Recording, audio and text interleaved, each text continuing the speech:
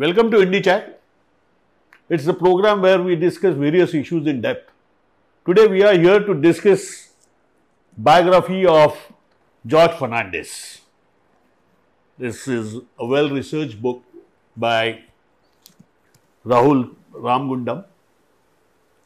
Mr. Rahul Ramagundam has already written two published two books. One is Gandhi's Khadi and another one is Including Socially Excluded. And this is his third book. This is a kind of well-researched biography, I would say, but it has been written like a novel. It has the plot, subplots, intrigues, then love stories, adventures, everything. And each and every statement, each and every word, I would say, has been substantiated by the huge reference material. So each and every word that he is actually carefully weighed each and every word while writing this book. And I'm really thank you, Mr. I welcome you to this uh, program, Mr. Rahul Ramagundam. Thank you. Thank you so much. Uh, this is a wonderful book, and to talk about this book, actually, I had been uh, my I was also associated with uh, George Fernandes uh, in various not as a uh, I was a small time uh, activist then, and when he had come to Bombay for his brain surgery, that time I had means we are three or three four of us, Mr. Bhai Vaidya, Sanjeev Sani, uh, Muhammad Kharas and myself had gone to meet him and he said, uh, doctor has asked him not to discuss politics. So all of us, others were actually, they don't know what to talk then. And that time George was reading Gabriel Garcia Marquez book. And that time his uh, uh, Salman Rushdie's book that uh, Satanic Verses controversy was on, and so he was talking about actually the book. And I said, Have you read this uh, um, Haroun and the Sea of Stories? It's a actually children's yes. book for children by Rushdie. No, he said, I have missed it. Please, please send me the copy. And I gave him the copy, and he, of course, reciprocated that gesture. So I was also means a kind of quite um, uh, in our college days we were quite influenced by George, and as you rightly said, he was really a passionate uh, speaker, particularly, and he has so much of uh, command over what language? Hindi, Marathi, English, Tulu, just you name it, and he was very comfortable and quite passionate leader and yeah militant activist, militant trade unionist basically. And so here in uh, Mumbai, uh, Lok Satta, Lok Satta actually gave him the title Bandh Samrat that time. So he was the first one, and I think Balasaheb Thackeray was also envious of George Fernandes because he was the first man to bring Bombay uh, to stand still. And later, actually, it was picked up by Bal Thackeray, but it was George, and George used to uh, call Bal Thackeray as Bal uh, not Bala Sahib or something. I, have not come across any other political leader who would be talking to Bal Thackeray in such terms. Anyways, so, so my first question is, what actually prompted you to take up this project? Three reasons. First, uh, George, uh, iconic photograph of 1975, uh, 76 in fact, when he's arrested in Delhi. And that photograph where he is putting his hands up and his hands are tied to his body by chain. Uh, I think uh, that was uh, a photograph which I had not seen in the time when it was actually taken, but I was uh, I saw it 1985 when I was a student, and I so I saw it in the in the times of in the India Today of uh, annual uh, uh, issue. In that, that photograph was there, and India Today perhaps was celebrating its one tenth decade, well, a decade, and of its publication, and so they had put the whole major events of, of last decade in their uh, December issue. And I was a student, I saw that photograph and I was really inspired by seeing that photograph. And it was almost like, I have written in the book, it's almost like uh, uh, the, very much very much equal to a kind of photograph that we see in history, like Bhagat Singh sitting on the cot and waiting for gallows. You know, so it was that. One was that. The second was um, I had just completed Gandhi's Khadi, and I wanted to look at uh, uh, post-independence history, and I thought that there can be no one uh, in this country who uh, whose life and action begins in 1950 and ends in 2004 in that sense, yeah. in, in, in, the governmental sense. He dies in 2019, but he remained a figure who really um, was not in the Congress regime, uh, uh he, because the Congress was the dominant party at that time. Uh, but he was someone who was throughout this, from 1950 to 2004, throughout in the public eye. And he was taking positions which were very um, not I would not say controversial, but very meaningful positions in a lot of issues. And third important uh, cause was that uh, he was a man who fought against injustice and for justice across the world, not just in India. And he would be the first one to go into any any place where there is a human crisis that has happened. And so these three things, in fact, I wanted to look at uh, post-independence history. So I wanted to look at the from the life of George Fernandes.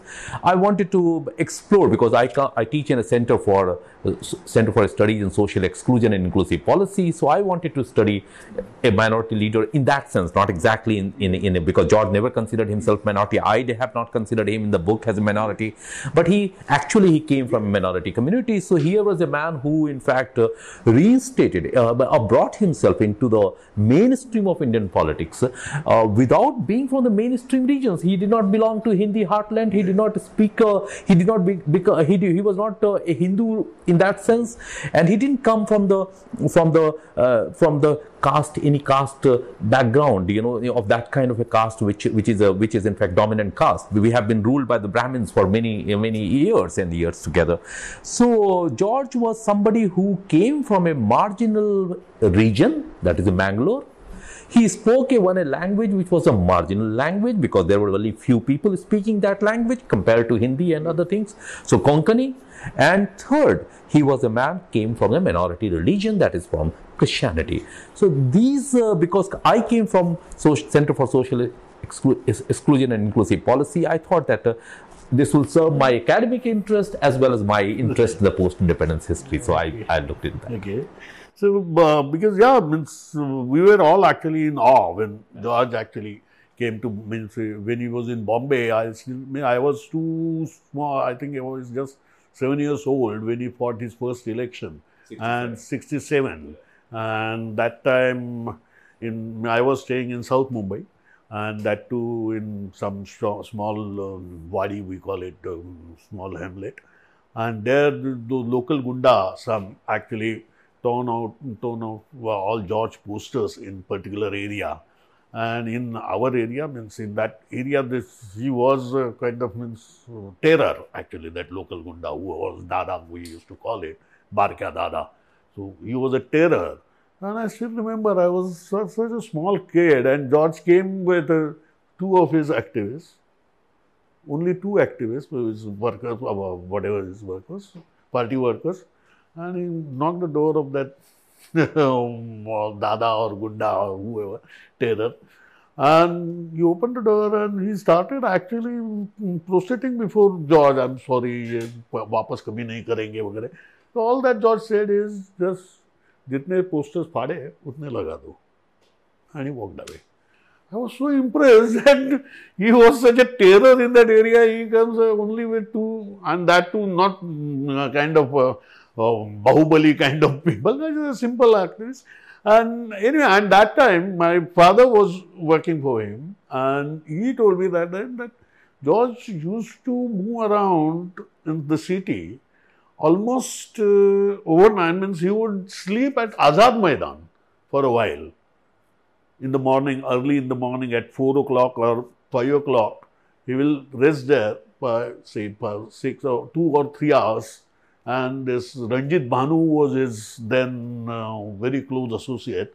And Ranjit Bhanu had the car, so he would park his car outside the Azad Maidan. And George would go to Azad Maidan to have a sound sleep.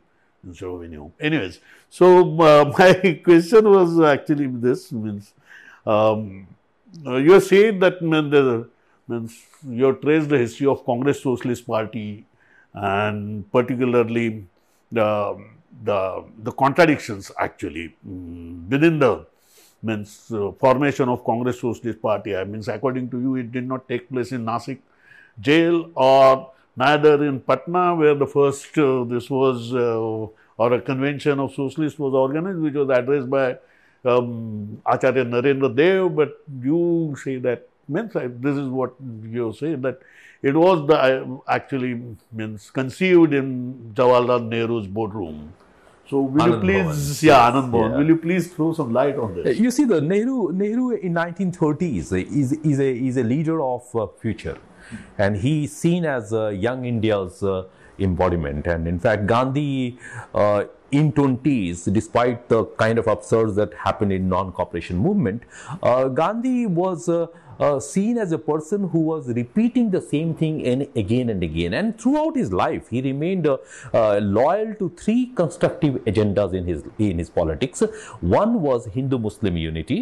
The second was uh, untouchability removal, and the third, and that is a khadi.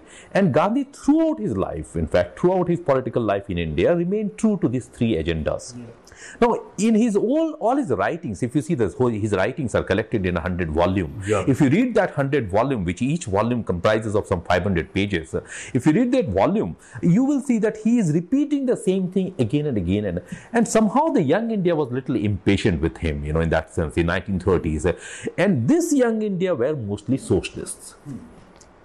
Nehru was a man who, in fact, wrote a very uh, angry later to, to Gandhi, who said that uh, we can't go for any movement at this point because uh, India is not yet ready. And so Gandhi, uh, Nehru wanted India to be, you know, to be, uh, to be, uh, to declare itself as independent, total freedom and all kind of a thing, to complete independence, you know, Purna Swaraj kind of an era. And so Gandhi was against that kind of a thing. And therefore, young India, uh, people like Jayaprakash Narayan and other people, they all went to Nehru, and Nehru became the leader of uh, of of. Uh, and uh, Nehru was also uh, had traveled abroad and uh, been some kind of a socialist in that sense, and so he was a man who became the leader and the embodiment of an idea which meant that the property, the national property, has to be distributed equally among the people, irrespective of their caste, irrespective of their class, and irrespective of their anything for that matter, uh, creed or whatever. So, this idea was a very fascinating idea and it appealed to many people that uh, properties do not belong to just rich or poor but people but everybody has a right over the property of the nation and everybody has a right to uh, to be in a in a in a, in a modicum of uh, of uh, mm, of prosperity you know kind of a thing Nehru, therefore, was one man who was seen as somebody who can be an alternative to Gandhi for that matter. And many of these young men, in fact, they were supporting him.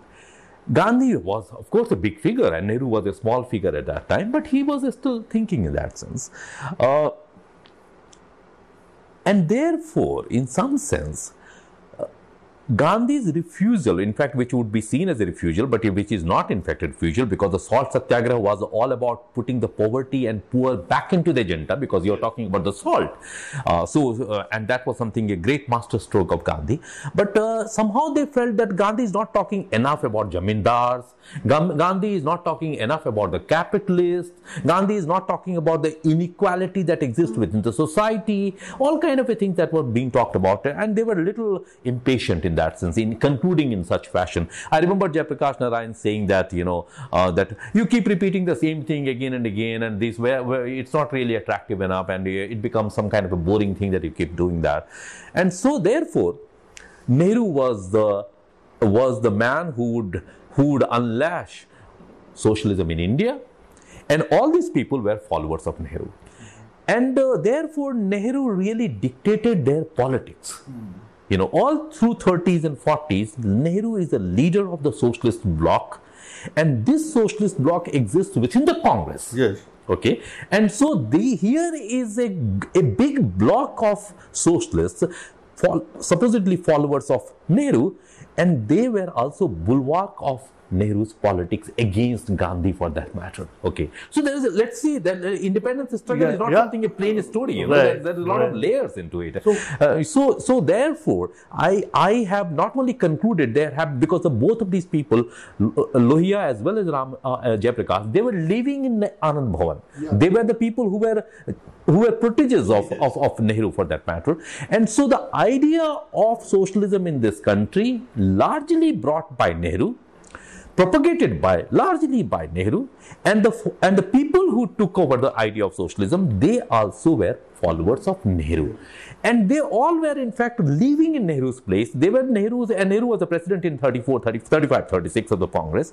So he was a man who was dictating the politics of this bunch of the people who were mostly foreign educated, who has traveled abroad, who spoke English well, who had no roots in the villages of India, who did not understand this country at all. Okay, and therefore they were the people who were Nehru's uh, followers and Nehru want, Nehru became the leader and Nehru in fact backed this idea of forming Congress Socialist Party which was not liked by anybody for yes. that matter. So was it the firing line of Nehru Congress exactly. Socialist Party? Exactly. It was it was some kind of a uh, some kind of a, a, a, some kind of a firing line against Gandhi's politics. Yeah okay and uh, and somehow it was some kind of a uh, but but the relationship of the socialists with the Gandhi as well as Nehru went through up and down. Uh, it changed. In fact, by the 1948, if you see, uh, Gandhi was the biggest supporter of them, yes. and Nehru, in fact, wanted them to get out of the of the Congress. You know, because of any reasons. But I have mentioned about it the fact that uh,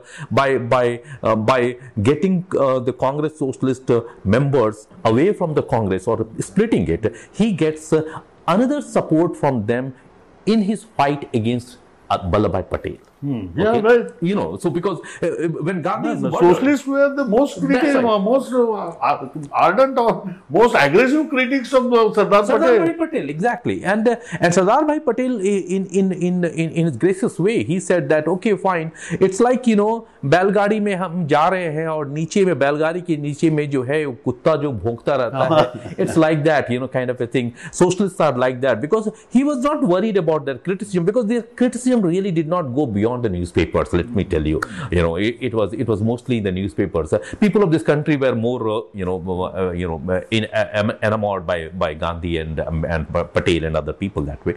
But they were the vociferous critique of Gandhi. They were also very good articulative people. They could articulate. They were writers. They used to run their journal that time, and they were a group group of the people who were bonded together.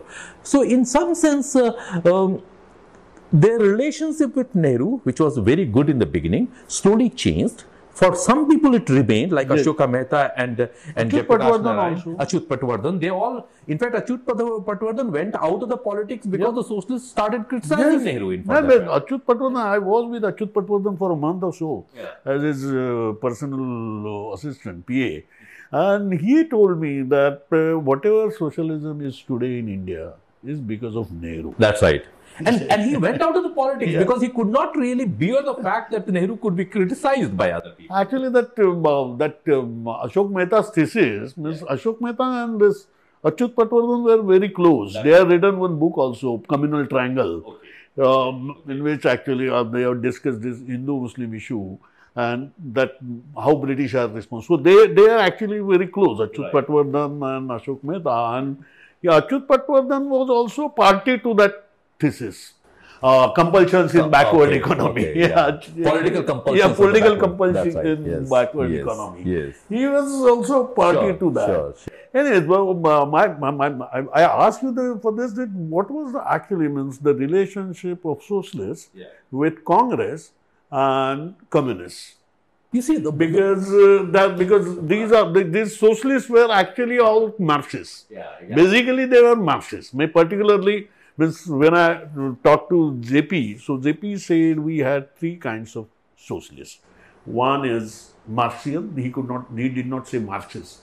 He called. Marxian, he used yeah. to call him himself as a Marxian. That's right. He said I'm Marxian, then French socialist, and third was Fabian or uh, British socialist. So according to him, this uh, Lohia was French socialist.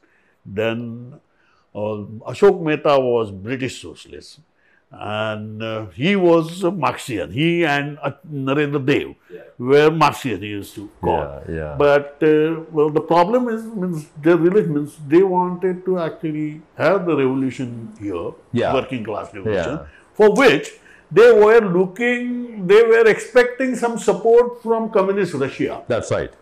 That's right. At the same time, they had actually, they were associated, means they were not, means they were very much in the uh, Congress yes, for course. this. So, yeah. but they could not actually mean this equidistance. Um, they actually could not keep, and finally, it means how do you look at it? Means their relationship with A with Congress, B with uh, uh, communists, because uh, that actually drove them towards BJP, I suppose. So can you throw some light in, on that? In fact, uh, you see, the, the, the, they were organizationally within the Congress. Yes. Okay, so the Congress was their mother, in fact, uh, where they were born and, and nurtured. And uh, ideologically, organizationally, while they were in the Congress, ideologically, they were much more closer to Marxist. Right. Okay. And so the CPI was always some kind of a fantasy for them. They wanted to be part of it. And, and throughout the freedom movement, you would see sometimes CPI merging itself, sometimes they're breaking away from it, you know, kind of a thing that is happening around, you know. So while the organizationally they were, they were a, a part of uh, uh, Congress, ideologically they were closer to Marxists. Hmm. And this created a situation whereby they would uh, go on criticizing Congress because of its conservativeness and because of its backwardness and because of its Gandhi as a conservative leadership and all. And they always wanted to bring the, social, uh, the communist into their own organization. And this was something fatal in some sense. It, was, it really sowed the seeds of their collapse. Okay. And that happened. Why? Because you are in an organization which is whom you are always critiquing as conservative as somebody who is a backward, who is not revolutionary enough. And on the other hand, you want to associate yourself with somebody who is in fact actually your ideological and organizational competitor. Hmm. So you are competing with the communists yeah. for a for a, this country is largely poverty, you know, so you wanted to bring about the equality of economic income and all kind of a thing. So you are trying to compete with a party in a way and also ideologically trying to affiliate with that party.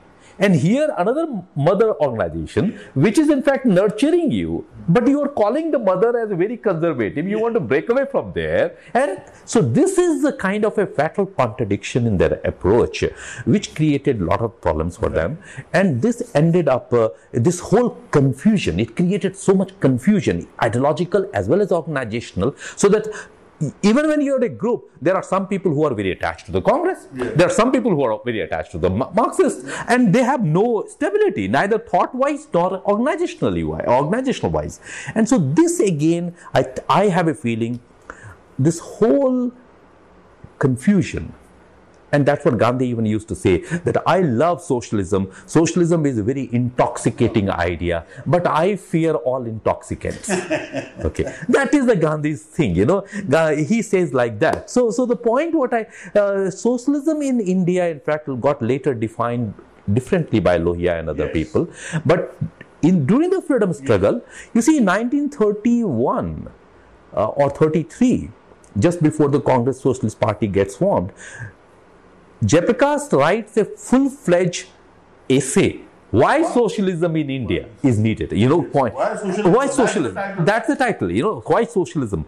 And this is in fact part of his collected work as well. The point I'm trying to say that, and, and there are so much convincing arguments for that. He is trying to convince the reader that, and all these argument that he puts in 1930 as a as his argument as something which he talks about very convincingly same arguments are again turned back you, you you turn around and then say that why socialism not socialism but sarvodaya yeah. you know so yes socialism to sarvodaya the travel of of journey of of, of uh, our Jayaprakash Narayan yeah. is shows that the man had no roots of understanding of Indian society or uh, Indian Indian people in that sense. And he was uh, floating on certain fashionable ideas of the time.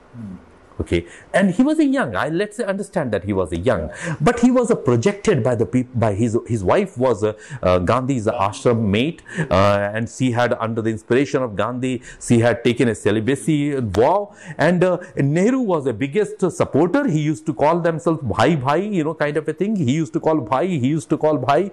And so he had a momentous backing of uh, big people of this country Jayaprakash Narayan is a failure from that kind of an idea where he had such a such a great backing to his career and therefore it can be said that his career is in some way reflection about a a gargantuan image of self mm. without the reality of conviction mm. you know that is the so no because this actually this legacy or this um, contradiction yeah. actually I think, well, don't you think it is one of the, um, it contributed to George's downfall or George or socialist uh, coming up, ganging up with the RSS? No, it has a history. Let me tell you. Uh, what happens that uh, that uh, uh, Nehru is a socialist. He's a prime minister of the country now, in fact, and so he can he can formulate the policies and and eat you away, you know, completely. So he is not only eating away. The Congress is not only eating away the leadership. It is also eating away the cadre of socialists. Okay, so every policy pronunciation of of Jawaharlal Nehru or Indira Gandhi dents socialist survival. Socialists begin to deplete their own rank and file and they start going towards Congress. Because the they give the slogan slogan of uh, Garibi Hatao that's the Indira Gandhi slogan uh, bank nationalization that's once again. And and then uh, Nehru is himself is a embodiment. He doesn't have to do any policy statement to make to tell himself that he's a socialist but his image is a socialist. So you have uh, uh in some sense you have uh, um, these two prime ministers in fact adopted each and every policy like like like the abolition of of princess privy yeah. purses you know? So all these kind of a, uh, slogans which were socialist slogans bank nationalization and all kind of a thing uh, these were adopted by the congress. And in the process of adopting that thing every time they made a policy which dented at the socialist uh, manifesto a bunch of people left the socialist cadre and joined congress. So what was happening that you need to in politics you need to be a steadfast opposition to your ruling regime. If you have some kind of a affinity then you are closer to ruling regime not to the opposition. Opposition in the democracy requires to take a steadfast position that you are opposed no matter what happens you are opposed to the regime that is ruling. Socialists kept on losing on that front. There were always a people group of the people who wanted to go away and join the congress. And there were always some people who were thinking about George was from the tradition of Lohia, who thought that if democracy in this country has to survive, if there has to be an opposition and Congress has to be displaced from the ruling stature, opposition has to strengthen itself. And in the process of opposition, he devised a tactics called non-congressism, in which the Congress was to opposed by everyone. By everyone means from the left to right. You have a Communist Party as well, and you have a Jan Sangh as well. So, and in between, you have a Socialist Party and other people. The, with this idea, when Lohia started, George is a disciple of Lohia. And he, one, his, his non-congressism is seen throughout his life. In fact, the first, he was a socialist, a Lohia disciple. So he remained almost true to the Lohia's point that Congressism ha- Congress has to be defeated because somehow many causes of this country's problems are into the Congress. You know, so Congress has to be defeated. That was the one point.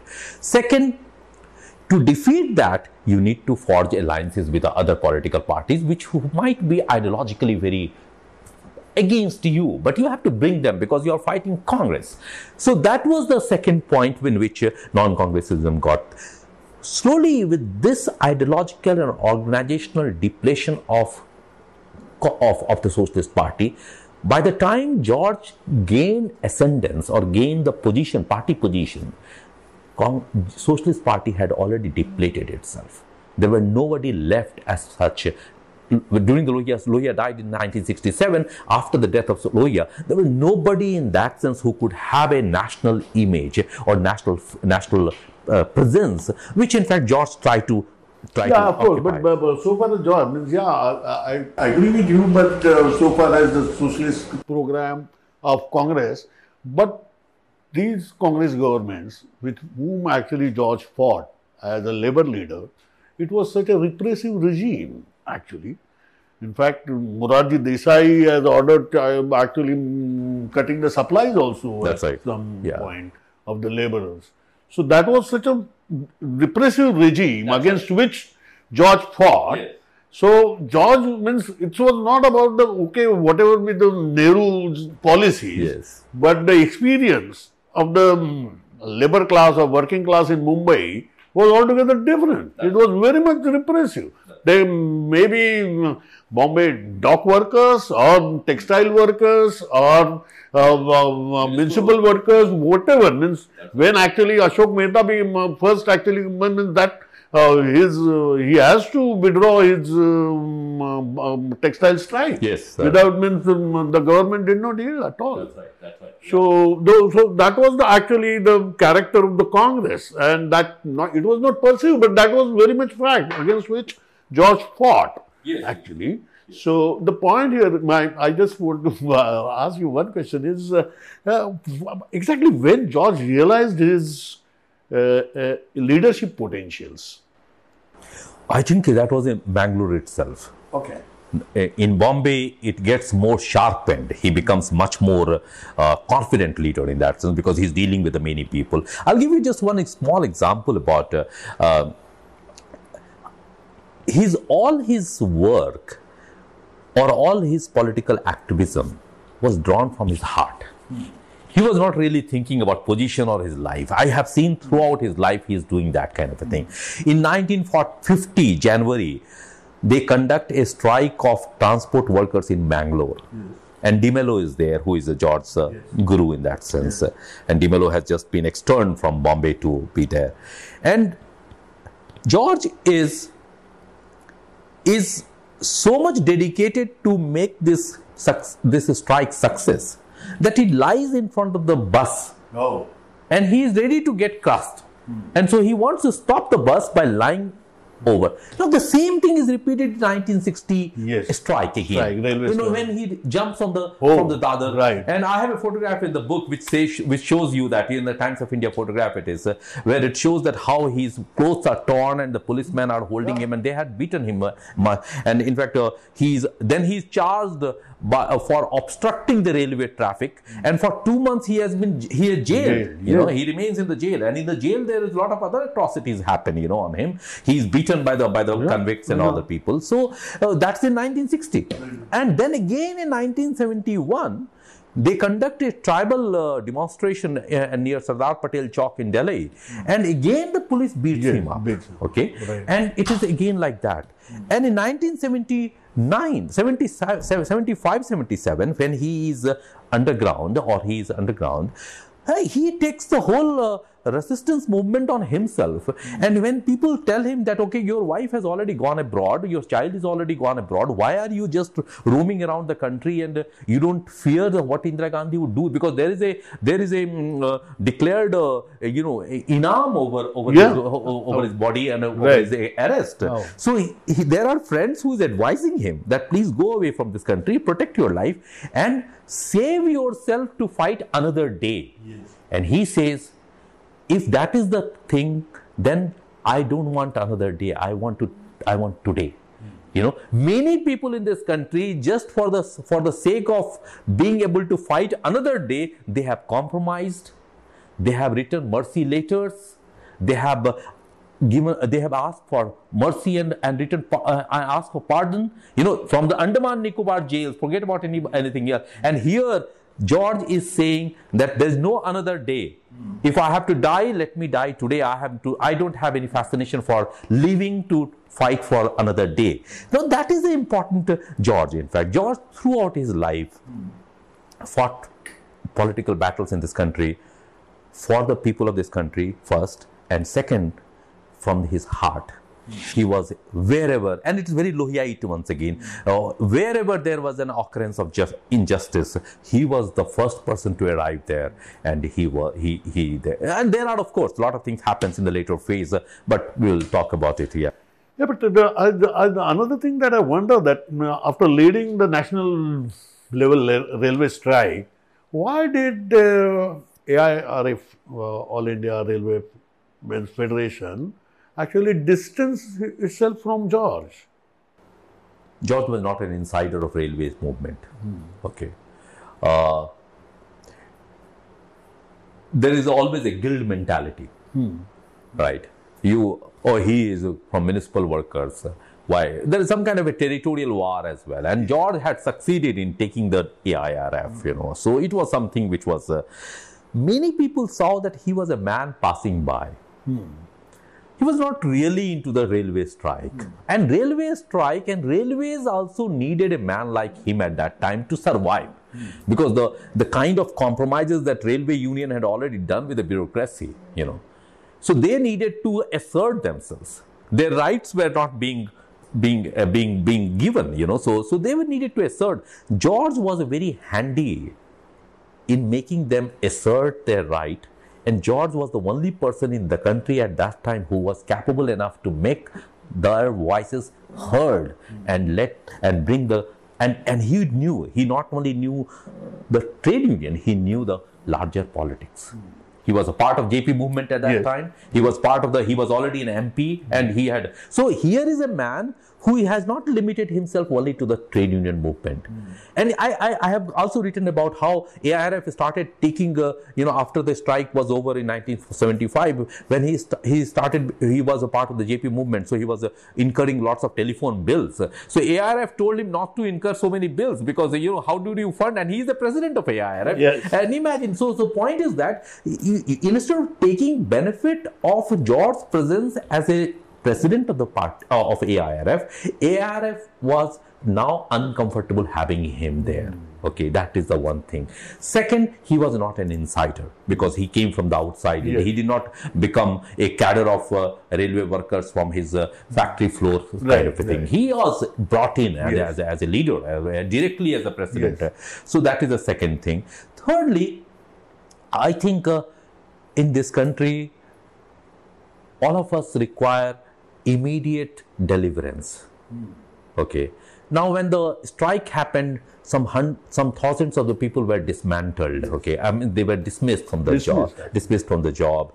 Uh, so these people wanted to be reinstated.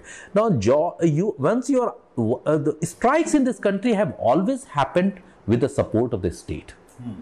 If the state is not is against you, then you cannot neither get anything and and and and railway strike is that about. A railway strike did not get anything for the workers because it, it was a momentous strike, but it did not yield anything to the worker. Yes. It only because the state was against yeah, you. To it, complete it, it against you. So so George could not get what the railway workers wanting to have it.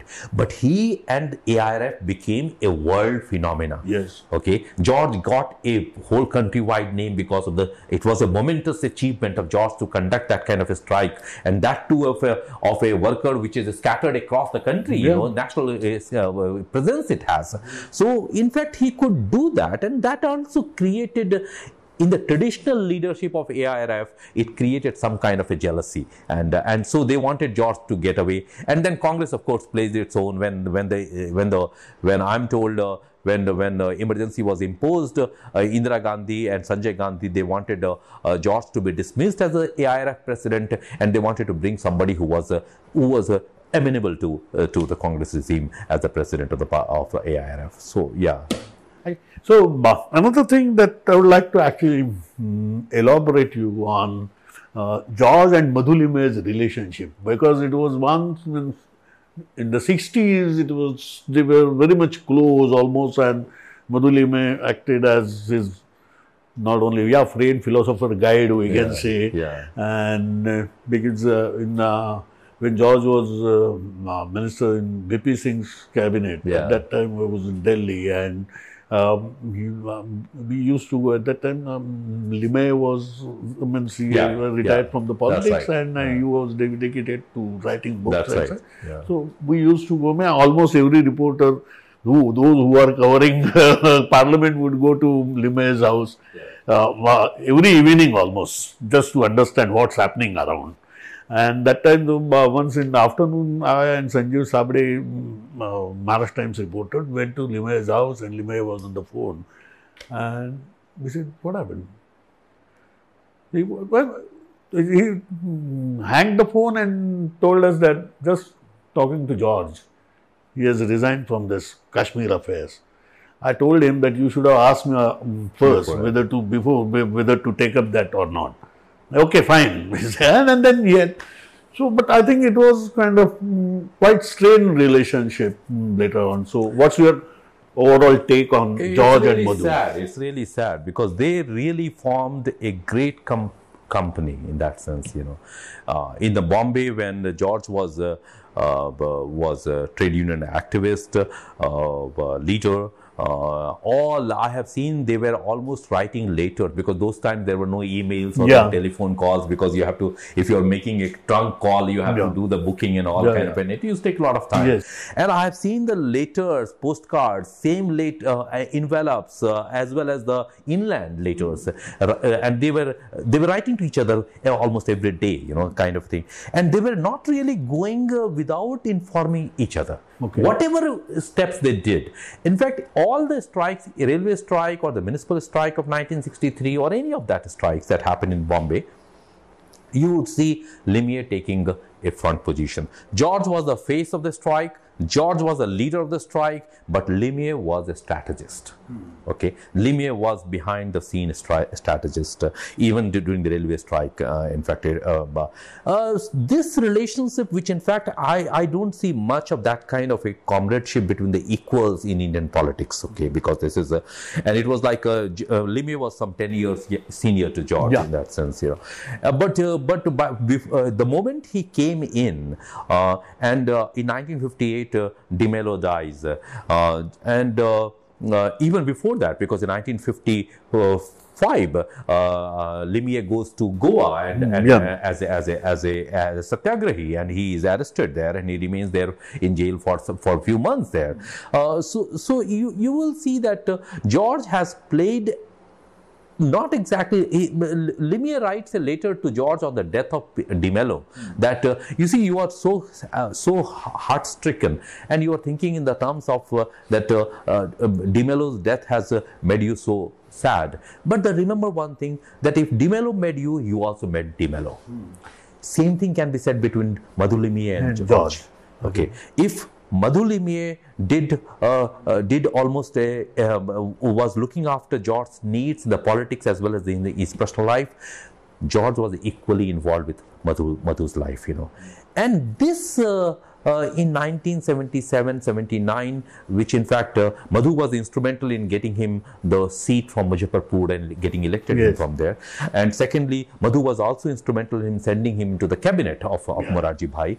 Uh, somehow, relationship between the Prime Minister Morarji Bhai and George improves, and the relationship of uh, of uh, Morarji Bhai and Madhu Limaye, who was the secretary Yes. of General Secretary of Janata Party at that time. It, de- it, it deteriorates. So when that happens, then our friend Madhu Limaye wants a prize for all what he did to George. And George says that, uh, okay, if you think so, then you know, eh, throughout 1978 79, there are barrages of letter that Madhu Limaye is writing to, to, uh, to George, asking him to ditch the prime minister, leave the Janata Party government. He, this is not going to add any feathers into your into your politics. All these things that is happening, and so you would see that you you somehow the Madhu Limaye and uh, George relationship takes a really nosedive, nosedives uh, because of uh, the push and pull of the being in the government. uh, and uh, I think uh, Madhu Limaye had had thought that he can own George ideologically as well as uh, as well as uh, politically. But uh, George also had outgrew to some extent, and uh, uh, and the comradeship, in fact, you know, fell down on that kind of a, uh, you know, uh, conflicting uh, uh, nature. Okay, so what is the difference of uh, non-congressism as practiced by Limaye and as practiced by George? I don't see any difference per se because uh, uh, this uh, non-congressism, George, and uh, you see whatever in 70s George is doing, uh, Limaye is part of it. I will not say that Limaye has some kind of freedom.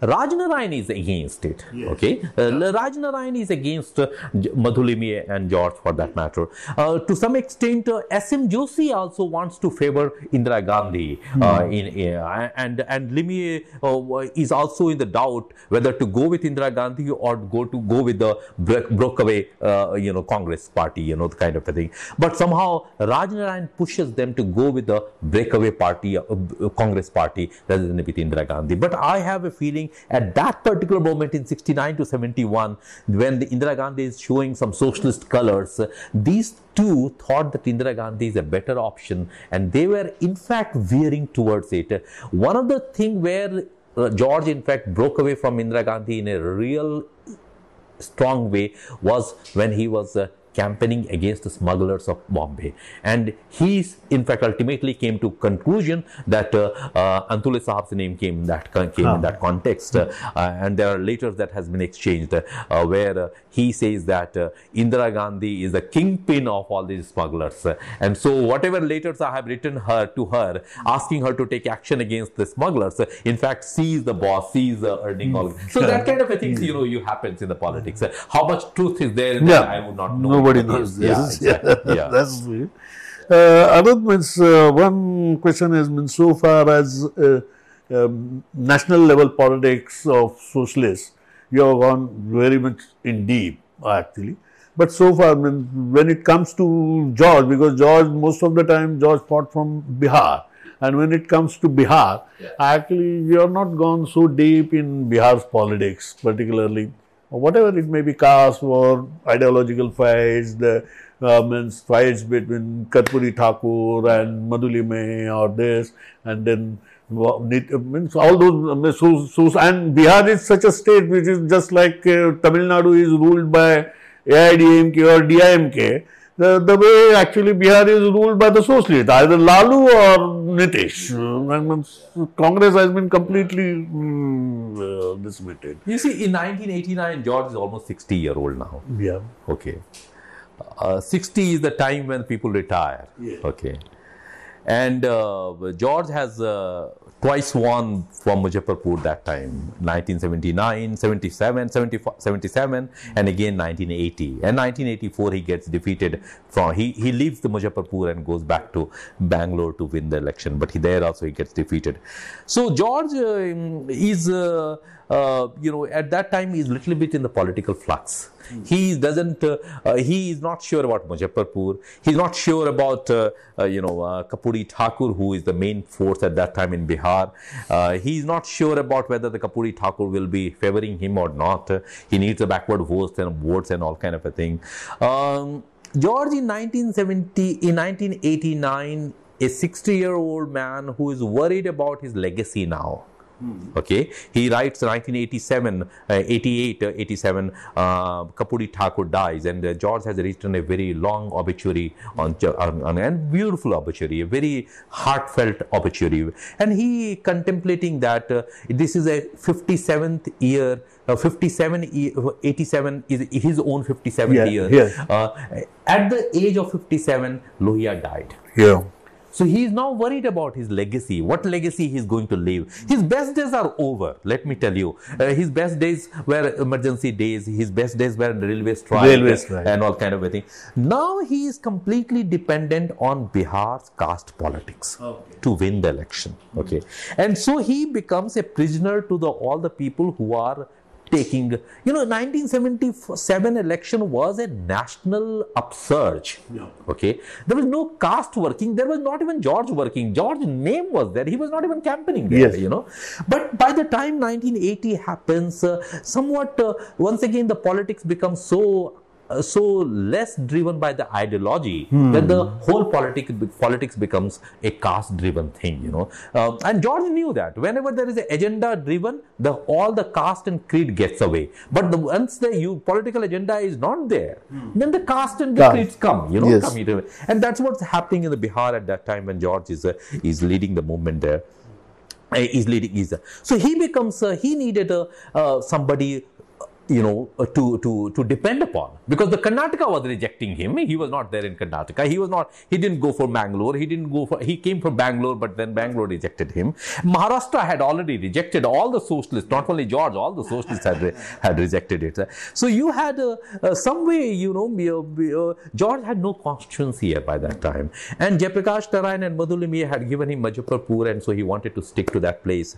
But Muzaffarpur had its own caste composition you know and so so you how do you do how do you go about it and uh, and and and to to transform a constituency in this country is not easy let me tell you to bring a development to one constituency it is not easy i have done a full uh, big section on Yeah. on on all the people who wrote. Right, right. I, I read it. you I mean, know- particularly of Muzaffarpur, uh, actually. and imagine And how we worked tirelessly on each and every letter. Each, each of these things. Each know, of these each of these things. He, but there are so many people in one constituency, and each of them have their own problems. How can one simple MP solve it? You know, and that's why you have such a great churning of MPs in this country. You know, nobody fights from the same constituency. They keep jumping, you know? So, so you can't solve the problem of one constituency. So you have to jump to the new constituency. You have to go to there, and that is what is happening with with George. George now needs caste blocks to support him. Hmm. Okay, so Nitish Kumar, who was a very small player in 1987, and uh, you know, very not, not even a known person, he was trying to uh, you know climb the bandwagon of uh, Devi Lal or Thrice, he, uh, thrice he was defeated, I suppose, right. in the assembly election. Exactly, yeah. So, so here in '89, because of the VP Singh uh, wave, uh, Nitish Kumar also wins and comes back. But Lalu wins the race and he becomes the chief minister.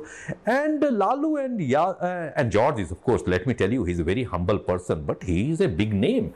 So why would he take the humiliation from Lalu, Yeah, who's uh, just an upstart, Right. you know, who just started, in fact. Yeah, yeah, in 77 that's actually right, this exactly, yeah. Why, why would he take it? Because George has already been a national, international name. So there was an ego clash, you know. Okay, you might have a caste uh, backing for Yes. you, but I have a name which is of my own, you know. So the politics became somewhat ego clash as well, and that once again veered it when jo- when Lalu became such a supremo in Bihar that he could do whatever he wanted to, uh, leaving no space for other political uh, outfits. Lalu even bullied um, um, Thakur, apna, um, Kapuri Thakur. Karpuri Thakur. He used to call him um, Kapti Thakur. That was yes, exactly. no, that was a later phenomenon maybe, but but till the time he became the chief minister, um, uh, you know, Yeah, yeah, yeah, yeah, yeah. Before because eighty seven Karpuri dies, uh, Dies, so huh. he becomes chief minister only in ninety. Yeah, but he was removed because of, uh, as the leader of the opposition because of Lalu. Because we are all Yadavs. Why Karpuri should lead us? Uh, So, so Anyways. yeah, exactly. So what, what I would say, I, I would see the 80s and 90s. Uh, George is uh, uh, is dependent on the local politicians for his survival in Bihar politics. Uh, he is certainly working very hard. He is certainly working very hard to build the Samata party, uh, but he is dependent on the caste composition of uh, Bihari politics, uh, and therefore. Uh, uh, to say that uh, you know uh, why I did not cover so much uh, of that part. It's also because the best days are 70s, Yes, 60s, right, 50s, right. you know. And uh, in fact, I wanted to stop at uh, 1980 itself. Okay, okay. I wanted to stop because uh, book has the writing itself had taken 12 years of my life, and so I was thinking that I would not be able to do the justice to the next 10, 20 years. I thought that uh, uh, it's better I will stop at 80, you know. But then somehow uh, Ram Guha, in fact, he insisted that I complete in one volume, and so I thought that okay, uh, I will. He is a mentor to me, and I really he read every page of the book, uh, and so I said okay. So then I started working again on the 80s and 90s. Uh, uh, I wanted to take the crux, uh, Oh. not so detailed the way I do in the 70s. Yes, right. I agree with you. I agree with you. Uh, another thing is, uh, I would like to know, means, I mean, only two, three questions are there.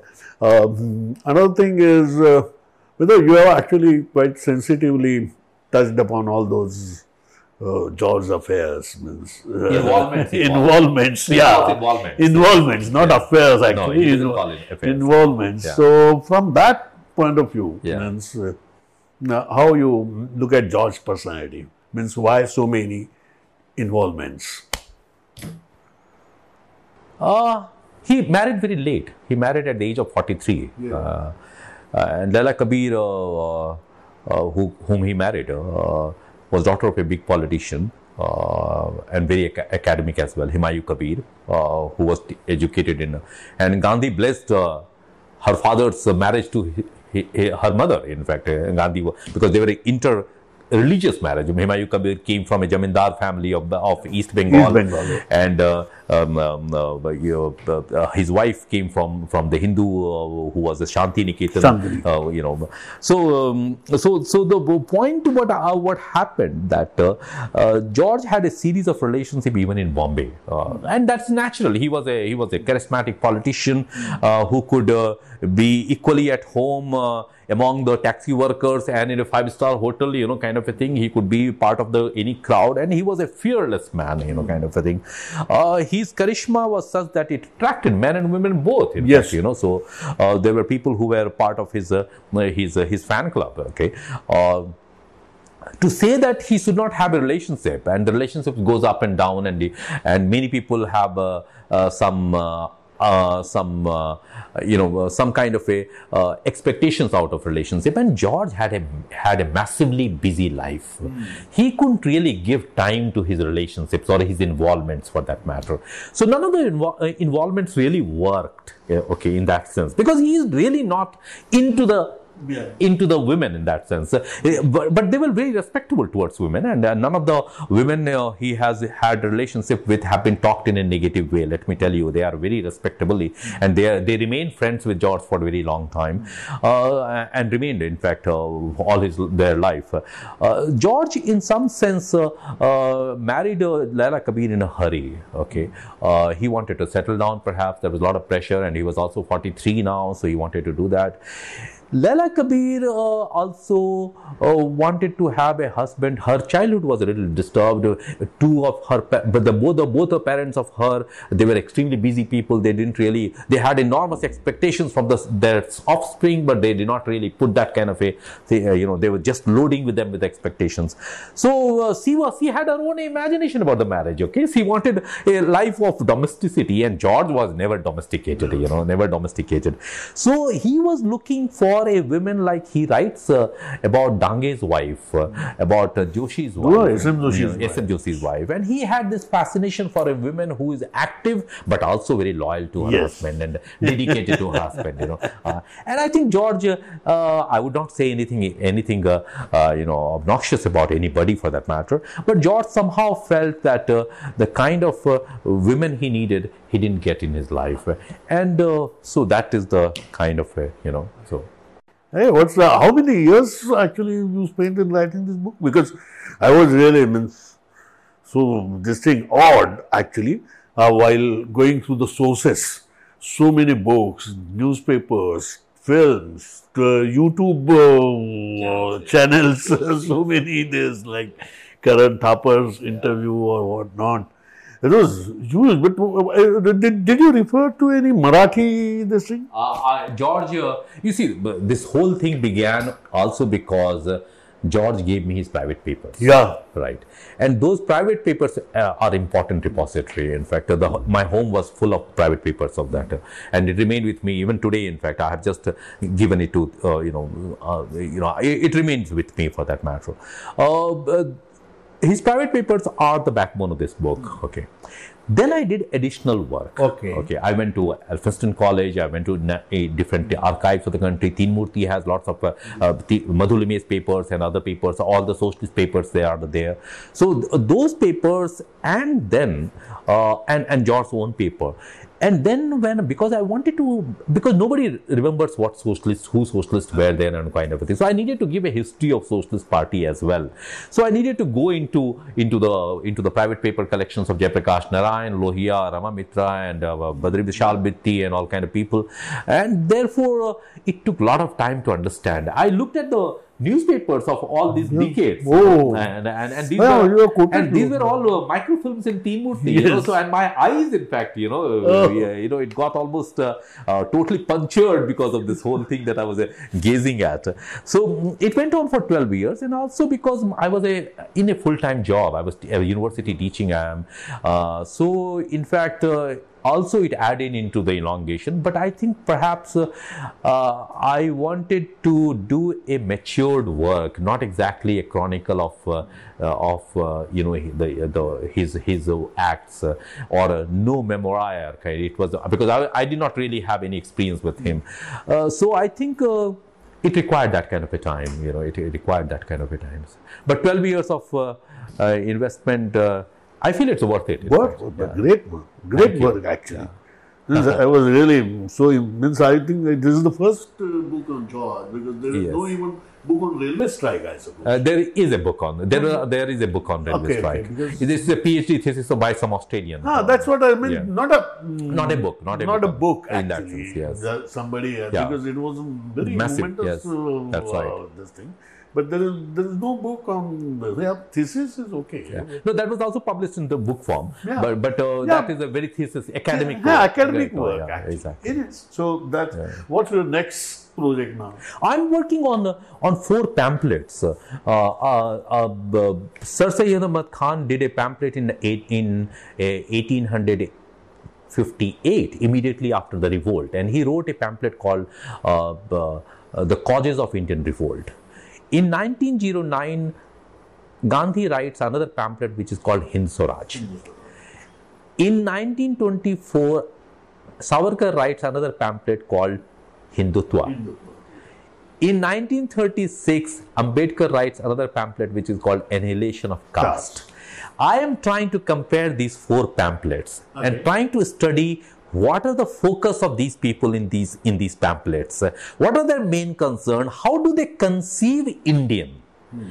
and what are their their uh, who are the indians for these people that is the one thing what are the kind of agenda driven writings these people these politicians and i call them all of them politicians and these politicians can indulge in and what are the kind of harshness of language that they adopt in conveying their idea Yes. you know because each of these pamphlets are a strong worded pamphlets you know very strong pamphlets read uh, uh, savarkar or read uh, ambedkar or read gandhi or Gandhi, read even Ahmad Gandhi Khan. calls Yeah. uh, British Parliament Parliament as as a prostitute. That's right.